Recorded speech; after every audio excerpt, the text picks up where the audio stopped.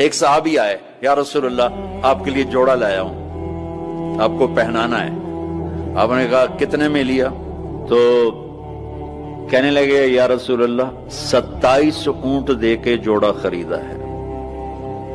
सत्ताईस ऊँट, यानी पाकिस्तान का फिफ्टी फोर लैख चौवन लाख का रेशमी नहीं था, वरना तो पहनते ही नहीं, रेशमी नहीं था।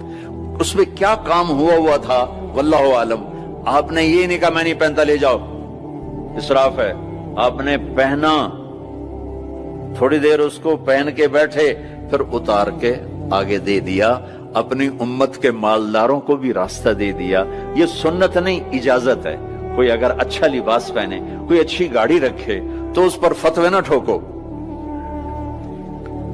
मेरे नबी नबी की